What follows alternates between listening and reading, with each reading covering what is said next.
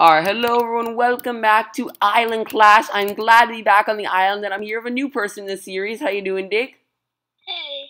Alright, and basically, I did want to basically explain real quickly why has Island Clash not been back. I posted on the Island Clash forums that I was going to start a marathon Thursday. Obviously, I was horribly mistaken.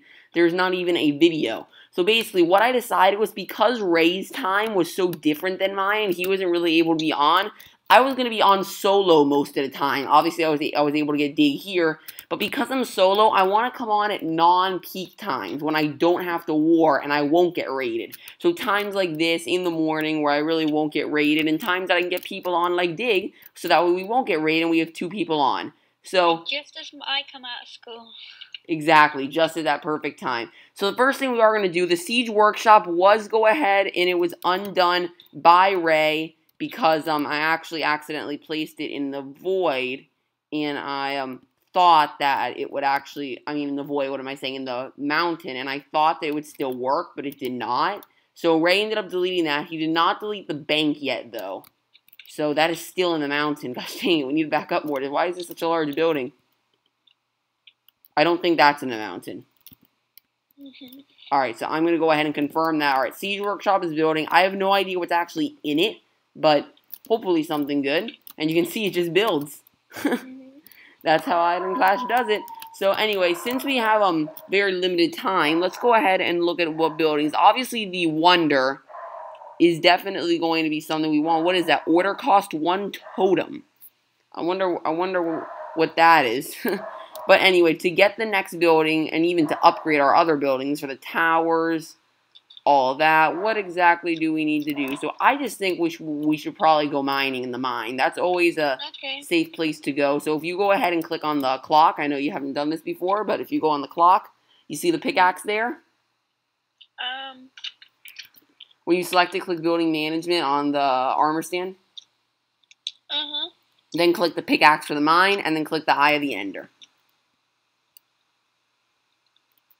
Hang on. It's complicated at first. I had watched a few videos on YouTube already, so because I, I, was gonna start a series, I wasn't gonna go in here and not knowing what I was doing. But you know, did it work? Uh, I didn't see a pickaxe. Um, you, I'm on player management now. Oh, don't go to player management. Click on the building management. Oh. The armor stand. Then click the pickaxe. Uh -huh.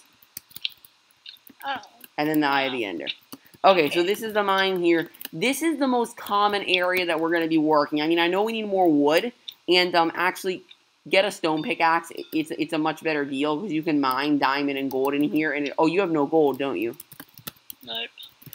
Uh, let me pay you the 15. Oh, payments are temporarily, seriously? Payments are temporarily disabled? Okay, that is sad. All right. Can I drop this and give you a pickaxe? Yes, I can. All right.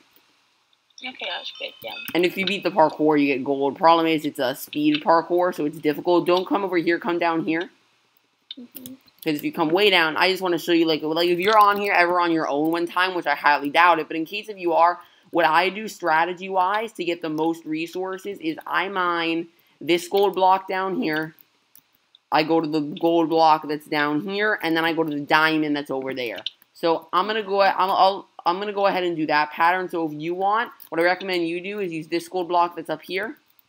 Mm -hmm. So mine there. Then I would think you come back here, probably to the iron, and then come back there for that iron, and then maybe those two if you have to. And there's an iron up there. So that's what I'd recommend. Just find those ores and mine them. Gold gives you more than um, iron does. So I'm going to start down here with the diamond.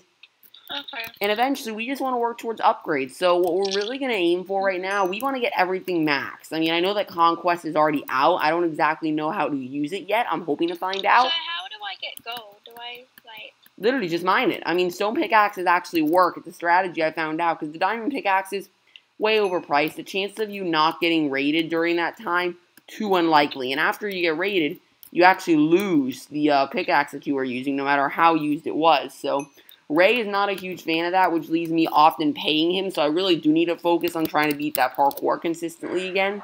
Problem is that'll mess up my regular parkour skills, because it's speed. But anyway, yeah, that was just a quick update video on Island Clash and what's going down, so I gotta go. So thank you guys for watching. If you enjoyed, like, comment, subscribe, do all that fun stuff. Island Clash will be back. Take care, guys.